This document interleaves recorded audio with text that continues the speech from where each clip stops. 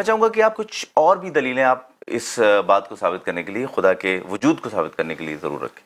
जो लोग नहीं मानते हैं अल्लाह के वजूद में गॉड के वजूद में हम उनसे कहते हैं कि कई सारी डिस्कवरीज है जो दुनिया में साइंटिस्ट ने आज की। वो डिस्कवरीज के बारे में वो साइंटिस्ट से बहुत पहले कौन जान सकता है उनके बारे में? जिसने इस दुनिया को बनाया बनाया। लेकिन वो दुनिया के बनाने वाले का वो इनकार कर रहे हैं। वो कहते हैं दुनिया में कोई बनाने वाला नहीं है। हम कहते हैं कि अगर उन्हें कोई एक ऐसी जगह मिल जाए जहाँ कई सारी ऐसी चीज़ें हैं जो साइंस को तो बाद में पता चला और वहाँ पे पहले से है और चैलेंज के साथ है कि एक भी मिस्टेक नहीं है बिल्कुल महफूज जगह।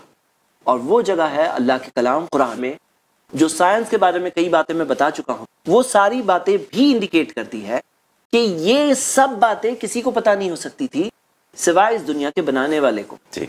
जैसे मान लीजिए कि कोई मशीन है तो मशीन के बारे में वो एक्सपेरिमेंटर वो डिस्कवरी करने वाला वो रिसर्चर तो कुछ देख कर चेकिंग करके हो सकता है एक स्टेज आएगा उसे पता चल जाएगा। लेकिन उससे बहुत पहले वो बता सकता है जिसने उस मशीन को बनाया। जी। तो ये सारी जो इन्फॉर्मेशन इस कायनात के बारे में अलग अलग चीज़ों के बारे में जो कुरान में दी गई जो में दी हमसे गई। इस एपिसोड में जुड़े हैं मैं उन्हें बता दूँ। कुरान आसमानी किताब है उस एपिसोड में जैद साहब ने बहुत तफसील से इस बात को बताया था। कि किस तरह से माँ के पेट में जो बच्चे की कैफियत है उसको अल्लाह ताला ने कुरान में बताया है लीच की शक्ल में होता है। जो साइंटिस्ट ने भी उसकी तस्दीक की है।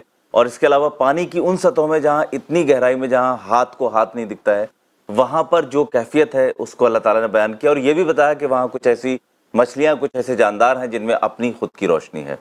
इस बात को आपने ब्रीफ से बताया था। हाँ देखिए यही सारी बातें हैं और ऐसी कई सारी ये इंडिकेट करती है कि कुरान अल्लाह की किताब है। जी। और अल्लाह के वजूद के ताल्लुक से ये सारे दलाइल है प्रूफ्स हैं सोचने वालों के लिए।